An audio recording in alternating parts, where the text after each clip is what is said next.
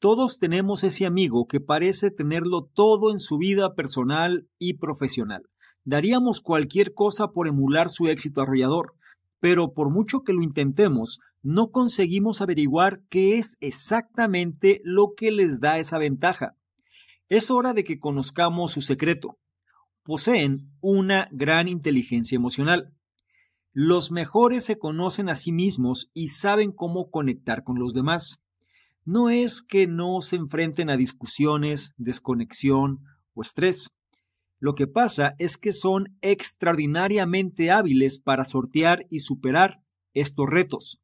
Por lo que si quieres saber de qué manera aumentar tu inteligencia emocional hoy mismo, te invito a que te quedes y analices lo que traigo a continuación.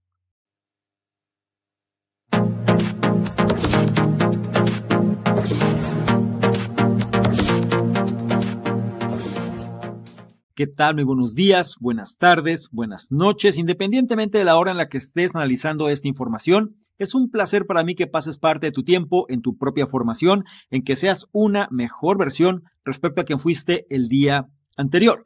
Y en esta ocasión vamos a hablar de hábitos exclusivamente los que se refieren a convertirnos en personas mucho más eficaces emocionalmente.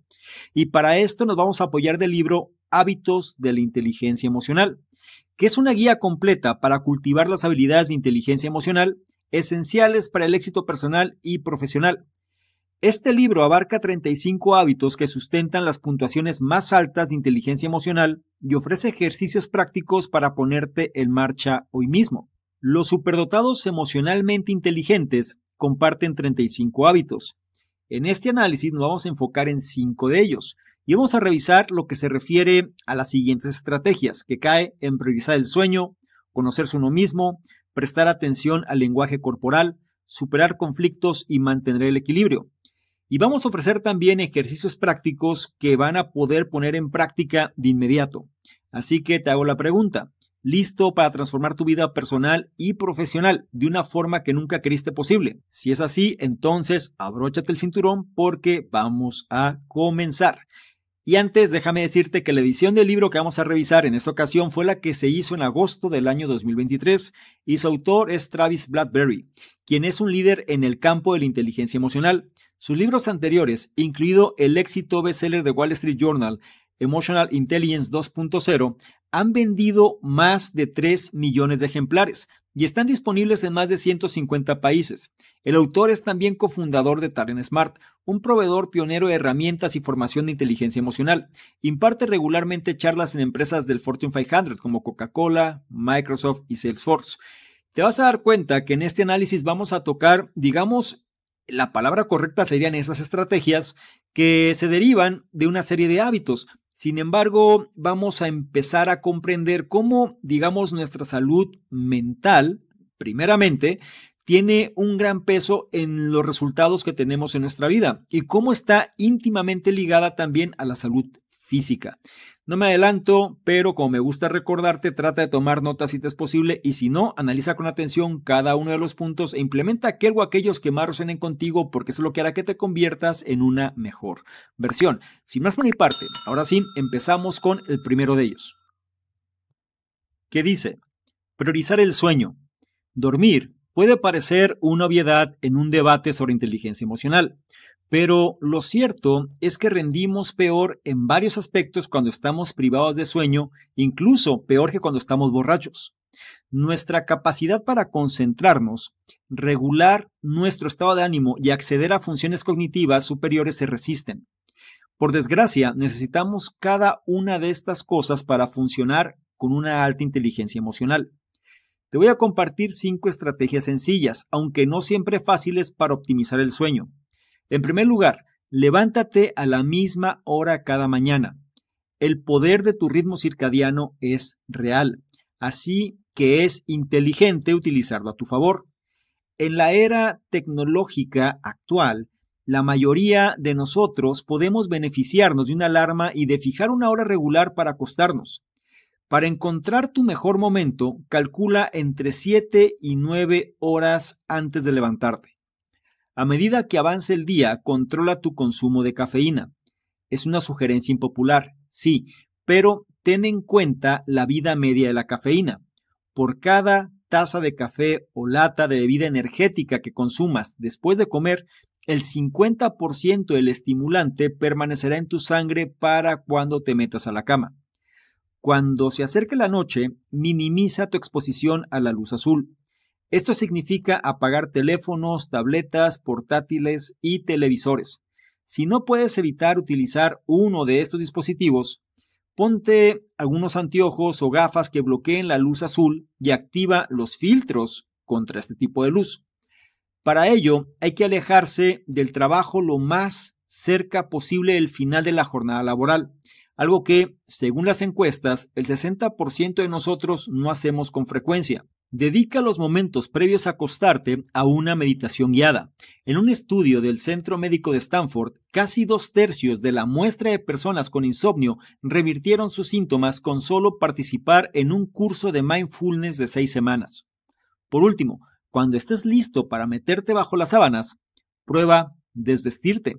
Bajar la temperatura de la piel reducirá la probabilidad de que te despiertes por la noche y además quemarás calorías al activarse tus reservas de grasa para mantenerte caliente. Además de los consabidos costes para nuestra salud física y productividad profesional, la privación de sueño reduce drásticamente nuestras posibilidades de aumentar nuestra inteligencia emocional, hasta el punto de que el resto de los hábitos que vamos a tratar servirán de muy poco sin un descanso adecuado y constante. Así que, del mismo modo que te aseguras de cargar tus dispositivos durante la noche para que funcionen lo mejor posible al día siguiente, da prioridad a recargar tu mente y tu cuerpo, que son insustituibles. Y vamos a reforzar las enseñanzas de este primer punto. Prácticamente nos hace conscientes de la importancia que tiene la inteligencia emocional en torno a los resultados que nosotros esperamos obtener en nuestra vida. Y aquí empieza tratando de hacer énfasis en lo importante que es el dormir bien. Normalmente viene siendo una de las cosas que nosotros, ya sea por el ritmo habitual del día a día, pues no le damos la importancia que merece. Sobre todo porque muchas veces entra, digamos, o se contrapone con aquellas cosas que nos generan placer. Estamos sobreestimulados y por ende la luz azul y el hecho de utilizar dispositivos electrónicos antes de acostarnos y estar de alguna manera distraídos forma parte de nuestro ritual. Por eso, en este caso, el autor menciona que puede ser no tan sencillo porque habrá cierto nivel de resistencia. Sin embargo, aquí nos dice cinco consejos o cinco buenas prácticas, ¿no? Eh, la primera de ellas es trata de levantarte siempre a la misma hora. Y también considera el periodo o las horas de sueño que vas a tener. Aquí entra en cuestión el ritmo circadiano y la media, pues puede ser de 7 a 9 horas Aquí dependerá mucho del tipo de persona, obviamente. Habrá quienes duerman mucho menos y les funcione bien. Esto es, eh, digamos, inherente a cada persona, pero aquí es importante que tú consideres tratar de tener un ritual de mantener una hora fija cada mañana. No seas errático en esta parte, no es que un día te levantes a una hora, otro día a otra, porque esto al final descompone de alguna manera, pues, el ritmo circadiano de tu cuerpo. Luego, eh, conforme avance el día, controla el consumo de cafeína. Esto ya está claro, eh, es algo que ya se ha mencionado bastante. Eh, habrá personas, una vez más, que les resulte adverso, habrá personas que puedan funcionar muy bien. Esto se los dejo a su criterio. Sin embargo, a niveles químicos, pues si tú le ingieres ¿no? una cantidad de cafeína, digamos que tu cuerpo no va a alcanzar a consumir, digámoslo así, pues entonces puede ser que te ocasione problemas para dormir. Así que trata este tema en función de tu situación. Minimizar la exposición a la luz azul, una, vez más, toda la cuestión de las tabletas, toda la cuestión de los dispositivos electrónicos, todo esto cae en esta singularidad, ¿no? Donde nosotros pues prácticamente estamos distraídos, estamos consumiendo este tipo de información constantemente y nos roba horas de sueño. Así que trata de ser un poquito más consciente en esto. Una práctica que recomiendan aquí es la meditación guiada. Puedes utilizarlo si es que te funciona. Eh, esto simplemente para desconectarte. Es importante porque muchas veces nosotros nos llevamos, digamos, todas las preocupaciones, el trabajo y todo lo que de alguna manera nos afecta a la cama. La meditación guiada nos debe a olvidarnos un poquito más, o más que olvidarnos, nos va a ayudar precisamente a enfocarnos en aquellas cosas que logren recalibrar mejor nuestra mente. Y luego, algo que aquí sugiere es el hecho de dormir desnudos. Dependerá también de cada persona, dependerá también del lugar donde estés. Sin embargo, aquí la parte que es interesante es el hecho de que obligues al cuerpo a mantener una temperatura estable. Y eso te va a ayudar a que no te despiertes durante la noche. Es un dato bastante interesante que valdría la pena que lo pongamos a prueba. Te lo dejo a tu criterio. Estos son puntos que tú puedes llevar a la práctica, dependerá de ti y sobre todo que tú puedas comprobar los resultados. Por ahora no olvides la enseñanza de este primer punto, priorizar el sueño. Pasamos al punto 2 que dice, conócete a ti mismo. Todos sabemos que el coeficiente intelectual es distinto de la inteligencia emocional, pero quizá no nos demos cuenta de que difieren en más de un aspecto. Por ejemplo, a diferencia de la inteligencia emocional, el coeficiente intelectual es una medida relativamente fija. Otro error común es creer que existe una conexión entre ambos. Las personas con un coeficiente intelectual alto no siempre tienen una inteligencia emocional alta, ni carecen por completo de don de gentes. El cociente intelectual o coeficiente intelectual y la inteligencia emocional son solo dos piezas del rompecabezas que nos hace hacer ser nosotros mismos.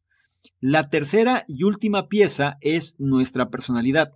Al igual que el coeficiente intelectual, el conjunto de rasgos que conforman nuestra personalidad toma forma en la infancia y permanece relativamente estable durante la edad adulta. Muchas personas emocionalmente inteligentes viven según la antigua máxima, conócete a ti mismo. Así que echemos un vistazo a dos características influyentes de la personalidad, Comprueba si te identificas con ellas y considera cómo puedes utilizar esta claridad adicional para conseguir más éxito en tu vida personal y laboral. En primer lugar, el rasgo tipo A, tipo B. La escritora Edith Wharton, ganadora del Premio Nobel, ofrece una forma poética de describir estos dos tipos. Hay dos maneras de difundir la luz, ser la vela o el espejo que la refleja. Los tipo A son las velas y trabajan con tal intensidad que arden por ambos extremos. Los tipo B son los espejos, y aunque pueden difundir tanta luz, no se definen únicamente por esta métrica. Una dicotomía similar se observa en el rasgo extrovertido-introvertido.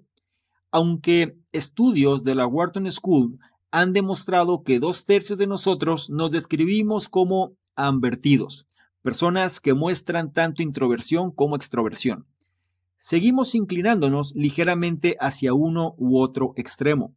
Si a menudo te sientes aburrido, es probable que tiendas hacia la extroversión y te vas a beneficiar de los estímulos externos para aumentar tu energía. Si por el contrario te sientes abrumado con frecuencia, probablemente residas más cerca de la introversión y funcionarás mejor cuando los estímulos externos se reduzcan al mínimo. En última instancia, todos los aspectos de la personalidad existen en un continuo y todos somos capaces de alinearnos con cualquiera de los extremos de vez en cuando. De hecho, la capacidad de adaptarse al contexto y al entorno es un claro indicador de la inteligencia emocional. Aún así, todos tenemos valores por defecto.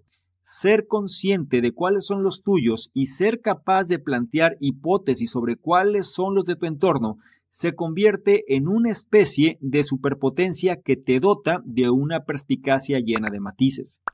Y vamos a reforzar las enseñanzas de este punto número 2, que puede parecer eh, un poquito abrumador por la cantidad de información que nos comparte. Pero la esencia de este punto es que, además de la inteligencia emocional y el coeficiente intelectual, tenemos un tercer elemento que es la personalidad. En pocas palabras, tenemos que conocernos a nosotros mismos.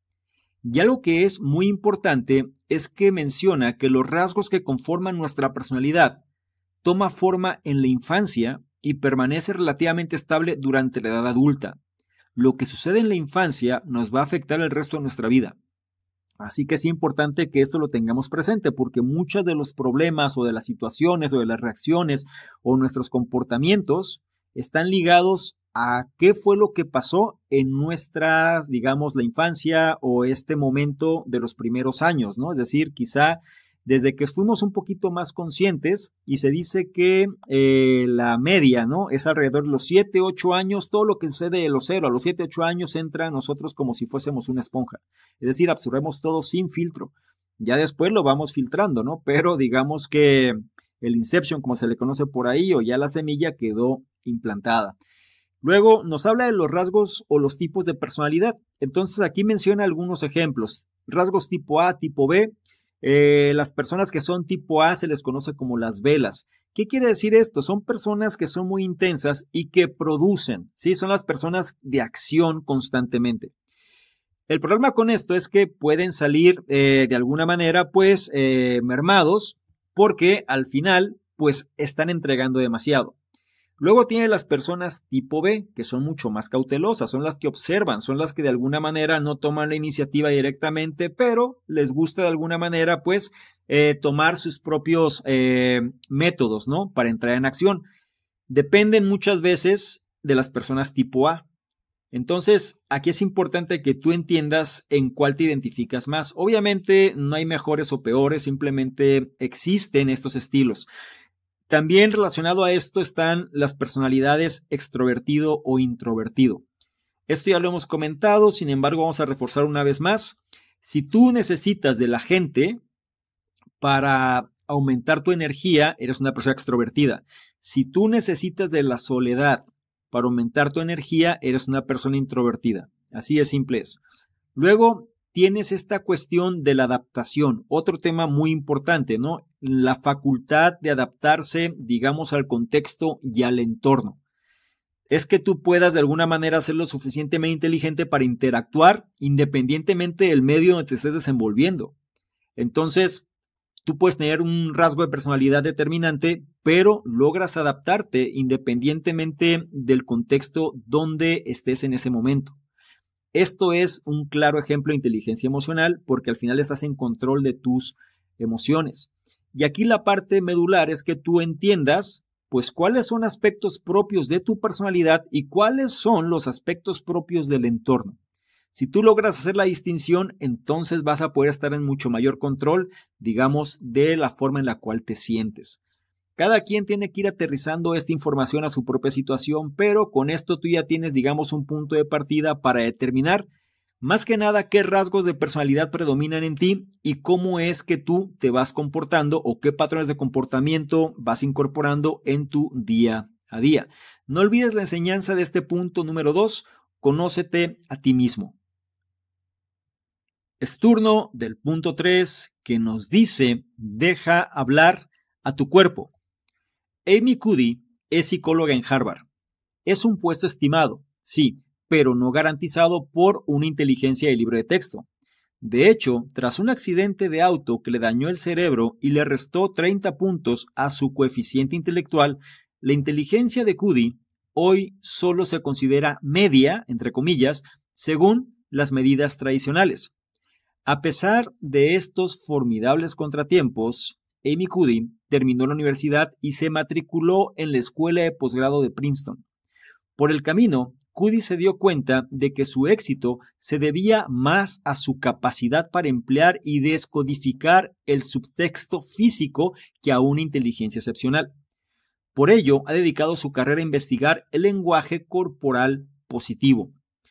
El lenguaje corporal positivo describe posturas y gestos físicos que hacen que la persona que los muestra se sienta más competente y que los demás la vean como alguien influyente y agradable. He aquí tres maneras de empezar a disfrutar de este poderoso cóctel de percepción. En primer lugar, encontrar el equilibrio adecuado en el contacto visual. Todos hemos vivido alguna conversación dolorosamente incómoda en la que la otra parte nos mira fijamente sin pestañear, o bien nos mira a todas partes menos a la cara. Evita que los demás se sientan incómodos y mantén la mirada entre 7 y 10 segundos cuando hables, y un poco más cuando escuches. Después viene este punto de la escucha activa. Las pequeñas cosas inclinarse hacia las personas con las que estás hablando, a sentir con la cabeza mientras se sigue su proceso de pensamiento y hacer preguntas pertinentes y de sondeo, tienen grandes recompensas. Si alguna vez has escuchado con atención, sabrás lo bueno que es sentirse visto y escuchado. Por el contrario, alguien que mira constantemente el reloj o el teléfono te hace sentir aburrido y poco importante. Por último, utiliza los gestos con eficacia. Reflejar el lenguaje corporal de tus interlocutores es un buen ejemplo. Actúa como señal subconsciente de que tú y tus interlocutores comparten un vínculo. Los gestos abiertos y expansivos implican poder y que no tienes nada que ocultar. Mantén estos movimientos adecuados al contexto y al entorno, pero no temas ocupar un poco de espacio. La inteligencia emocional se define en gran medida por la capacidad de comunicar de forma constructiva pensamientos y sentimientos, así como de leer con precisión los pensamientos y sentimientos de los demás.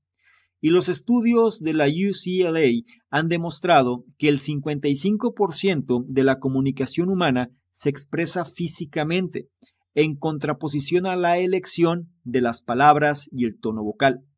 En resumen, el lenguaje corporal es tu lengua materna.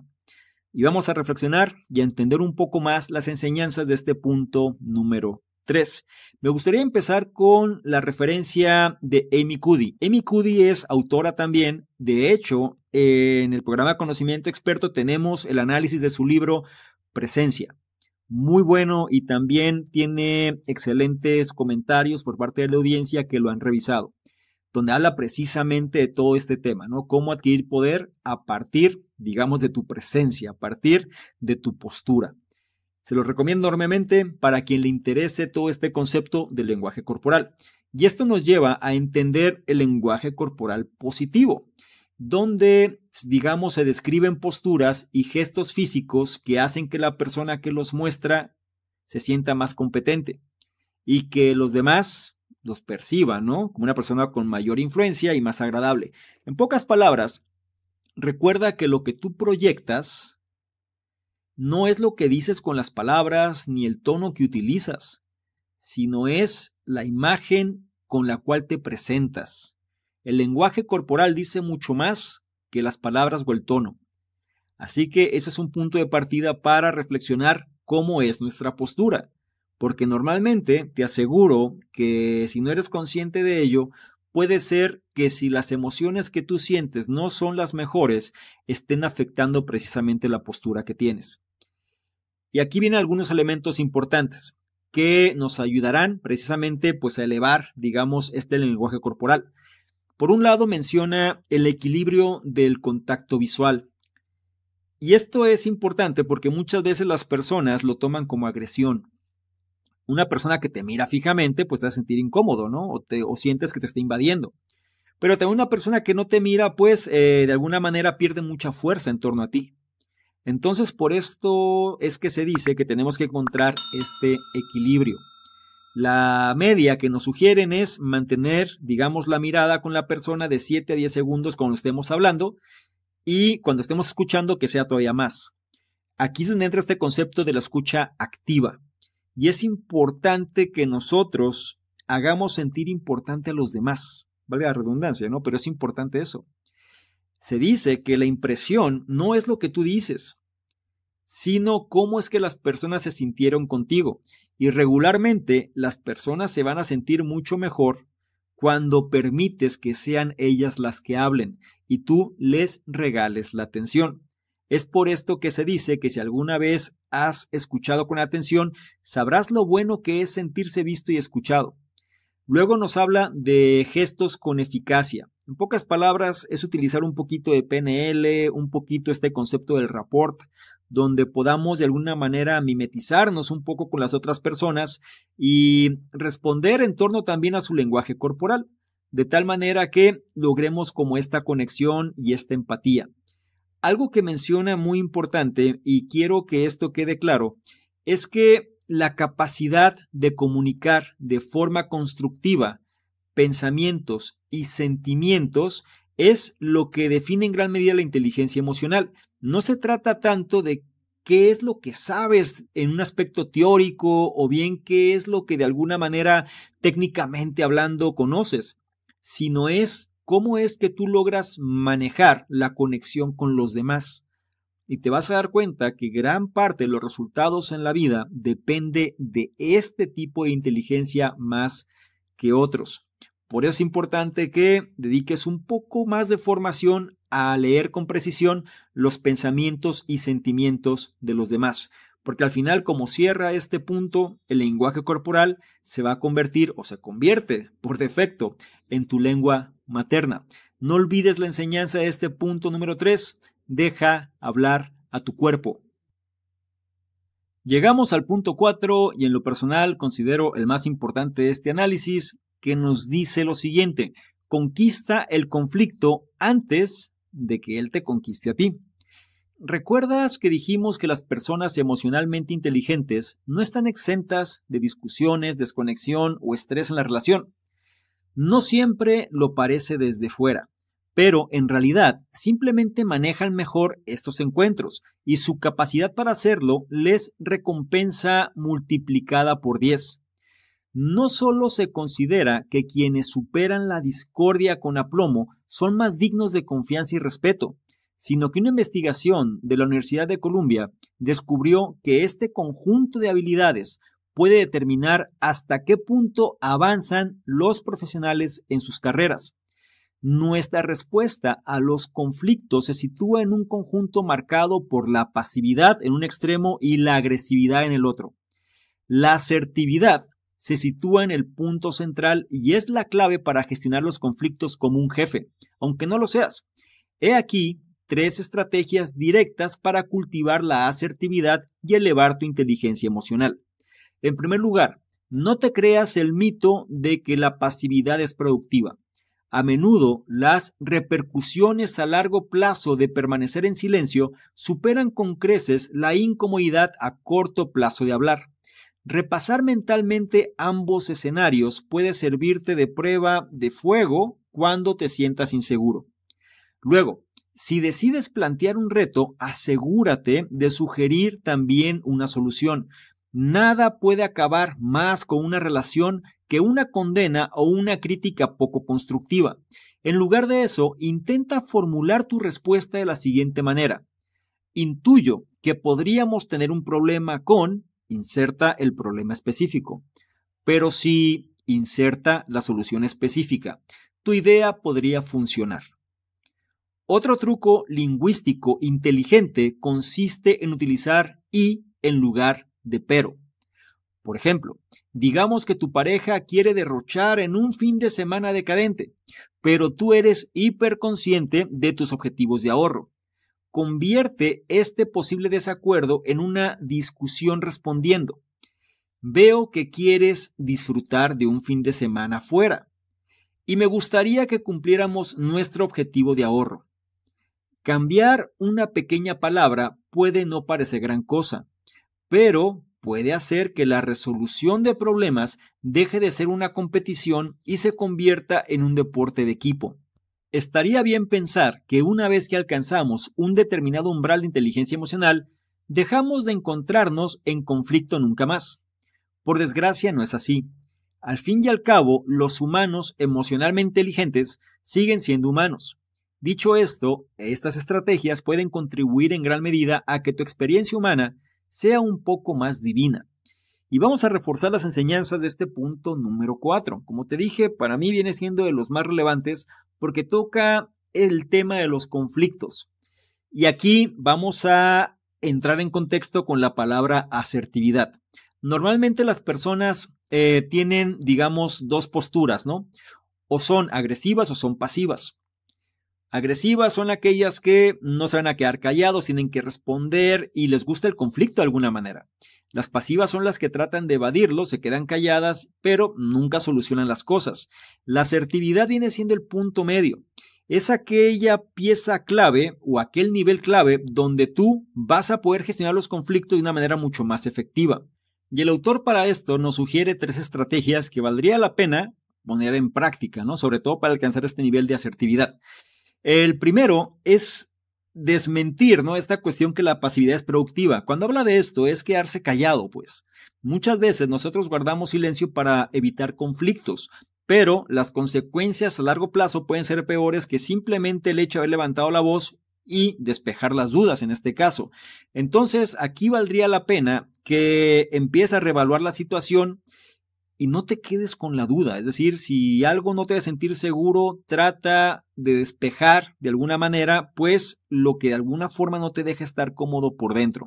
Luego, menciona aquí otro tema muy interesante, sobre todo cuando tenemos gente a nuestro cargo. Si decides plantear un reto, asegúrate de sugerir también una solución. Y aquí voy a reformular un poquito lo que te acabo de decir. Gente a tu cargo o cualquier persona con la que tengas una interacción directa, puede ser tu familia, incluso tus hijos o gente que de alguna manera pues tiene una carga emocional fuerte sobre ti. Muchas veces nosotros no logramos encontrar, digamos, acuerdos. Y esta viene siendo una técnica sumamente interesante para encontrar el acuerdo, porque por un lado te colocas de alguna forma en los zapatos de la persona y por el otro, pues también le das la alternativa de solución. Ya la persona decidirá si funciona o no, pero la parte buena es que si dice que lo que tú mencionas no le es de alguna manera eficaz, esta persona puede proveer entonces la solución. Es ahí por lo cual esta técnica es muy importante. La voy a volver a mencionar, ¿no? Tal cual como está descrita. Recuerda lo siguiente. Intuyo que podríamos tener un problema con, y ahí colocas cuál es el problema.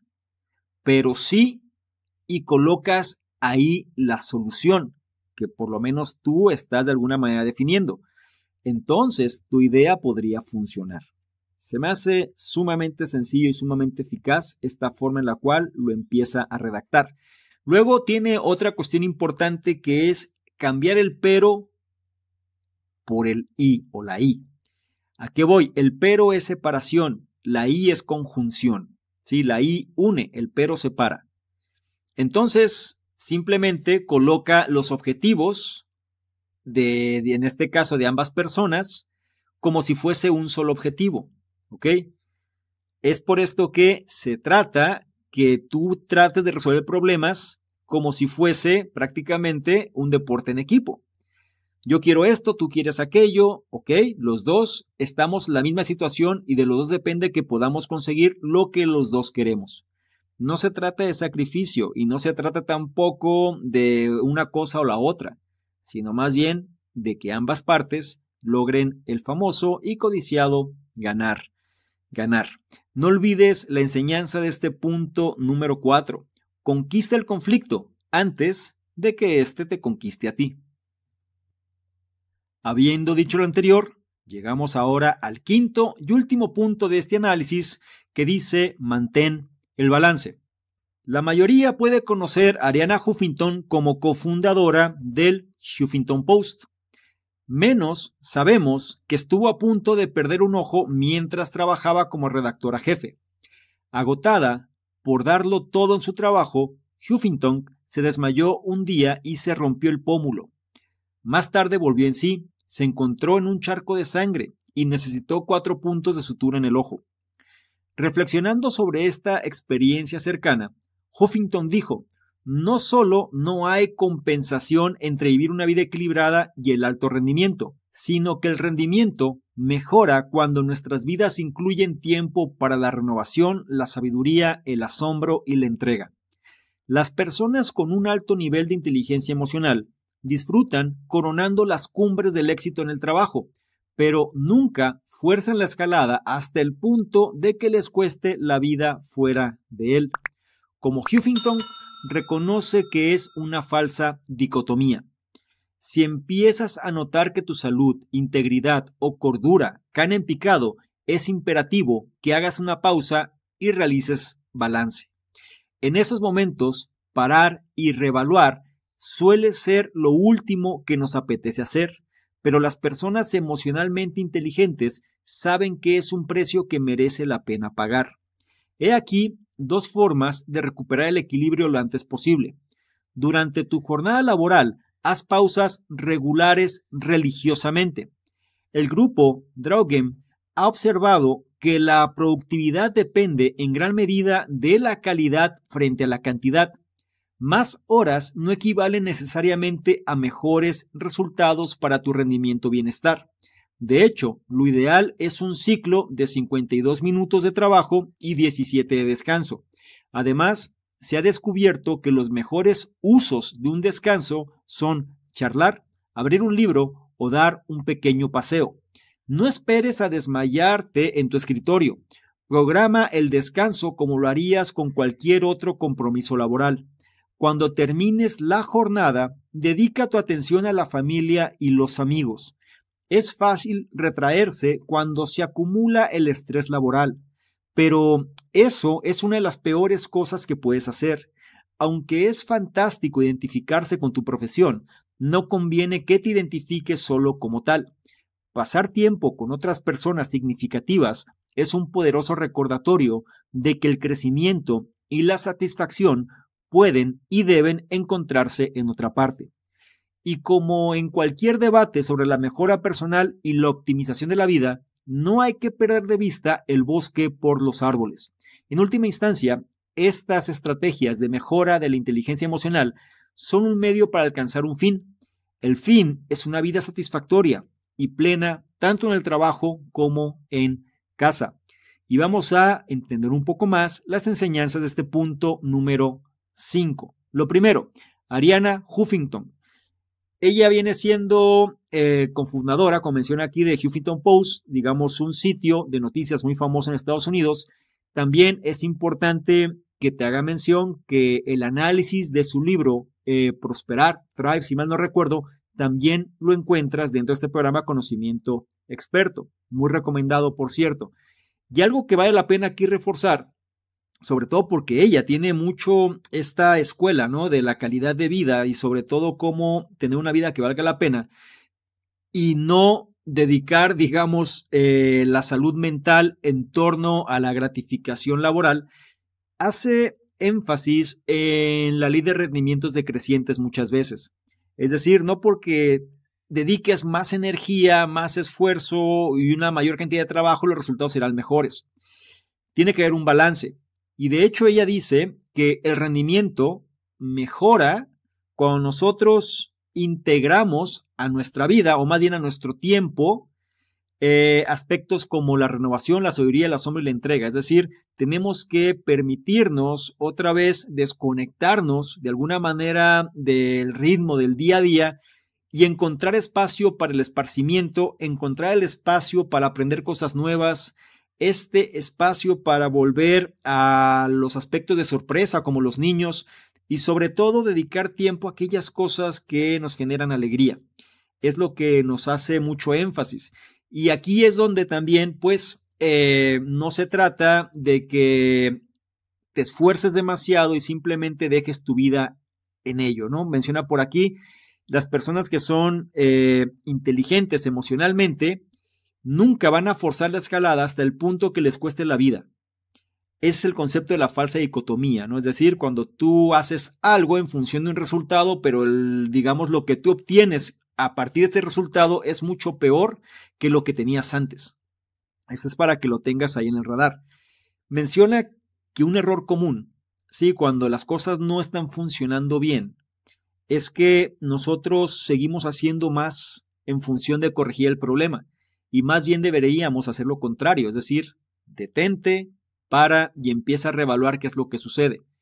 Suele ser muy difícil porque tenemos muchas veces la presión y pensamos que haciendo más de lo mismo vamos a obtener un resultado distinto, ¿no? Que viene siendo este significado de locura de Albert Einstein. Sin embargo, para reevaluar, aunque se escucha muy fácil, no suele ser tan sencillo en la práctica. Menciona que nos da eh, dos formas, ¿no? En la cual nosotros podemos recuperar el equilibrio. Y sobre todo poner en práctica este concepto de para reevaluar en función de cómo se necesite. Lo primero es que tenemos que ser disciplinados eh, con nuestra agenda, ¿no? Nuestro calendario. Y tenemos que estipular pausas regulares en nuestro día a día. Es decir, es muy fácil que nosotros nos sintamos eh, absorbidos por nuestro trabajo, por ejemplo, y empezamos a dedicar tiempo indefinido.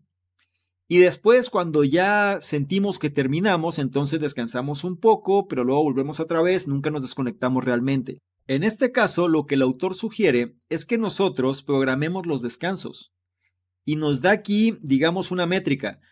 por cada 52 minutos de trabajo, establecer 17 minutos de descanso. Te vas a dar cuenta que lo primero puede ser una reacción adversa, ¿no? Pueden decir, ¿cómo 17 minutos por trabajar 52? Si tú implementas la técnica Pomodoro en esta cuestión, es decir, trabajas 52 minutos ininterrumpidos de trabajo 100% enfocado en la actividad, créeme que los 17 minutos de descanso no son nada descabellados, al contrario, son necesarios. Pero tu productividad va en aumento, que de eso se trata todo esto. Luego, cuando termines la jornada, dedica toda tu atención a la familia y los amigos. En pocas palabras, desconéctate ya terminó, se acabó, ya no estés pensando en lo que tienes que hacer. Una práctica que te sugiero que incorpores es que coloques lo que vas a tener que trabajar desde un día anterior. En pocas palabras, lo que vas a hacer mañana, hazlo o ponlo por escrito el día de hoy. Pon las actividades principales de sugerencia 3 y sobre estas tres la crítica y entonces ponlo en papel y olvídate del asunto. Dedica toda tu atención a los aspectos placenteros una vez que tu jornada laboral se haya terminado y no te preocupes por lo que sigue porque ya lo pusiste por escrito y ya está ahí para que al día siguiente tú sepas sobre qué vas a trabajar. Y algo que no terminamos de entender es esto. Pasar tiempo con otras personas significativas es un recordatorio de que el crecimiento y la satisfacción pueden y deben encontrarse en otra parte. Es decir, tiene que ser personal, tiene que ser algo que nazca de adentro y no tiene que ser algo que hagamos por cumplir expectativas del entorno. Es por esto que se menciona que si nosotros queremos mantener una vida equilibrada, pues no hay que perder de vista el bosque por los árboles. Es decir, cuando nos centramos demasiado en los detalles, muchas veces perdemos el foco de lo que estamos haciendo siempre ten en el radar prácticamente o ten siempre una imagen macro de por qué haces lo que estás haciendo. De tal forma que si sientes que estás demorando demasiado en los detalles, haz la pausa y vuelve a reenfocarte en la imagen completa. No olvides la enseñanza de este punto número 5. Mantén el balance. Llegamos al final de este análisis y me gustaría concluir con lo siguiente. A diferencia del coeficiente intelectual, la inteligencia emocional es una medida flexible que puedes cultivar y entrenar a lo largo de tu vida. Y harías bien en hacerlo, ya que una inteligencia emocional bien desarrollada es crucial para el éxito personal y profesional.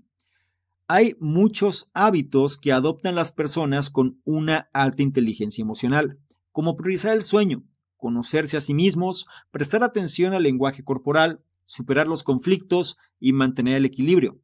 Adoptando algunas de estas estrategias, puedes empezar a potenciar tu inteligencia emocional y disfrutar de los amplios beneficios que ofrece una inteligencia emocional elevada. No olvides las enseñanzas de este análisis. Priorizar el sueño, conócete a ti mismo, deja hablar a tu cuerpo, conquista el conflicto y mantén el balance.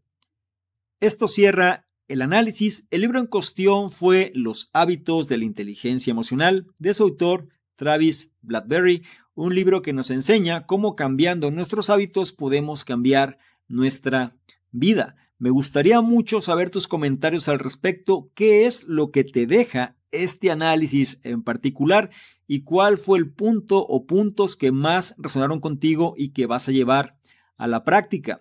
Recuerda que de eso se trata, de nada sirve ser un escucha pasivo si no empiezas a implementar la información que de alguna manera puede generarte estos resultados que te van a ayudar a convertirte en una mejor versión. Por otro lado, si esta información la consideras de valor, no se te olvide evaluarla, compartirla, darle me gusta, porque de esta forma nos ayudas a llegar a una mayor cantidad de personas que también pueden beneficiarse de este tipo de contenidos.